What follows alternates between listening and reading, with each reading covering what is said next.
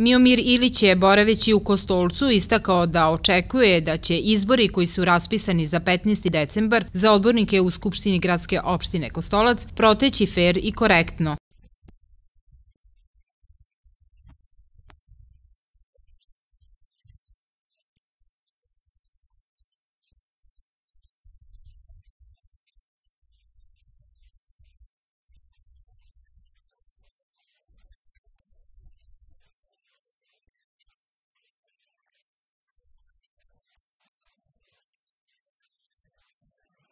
Ilić je istakao da je bio jedan od začetnika ideje da se oblik organizovanja prema želji Kostolčana i ostvari, ali izrazio zadovoljstvo razvojem gradske opštine. Na predstojićim izborima 15. decembra građani će odabrati svoje predstavnike, zaključio je Ilić.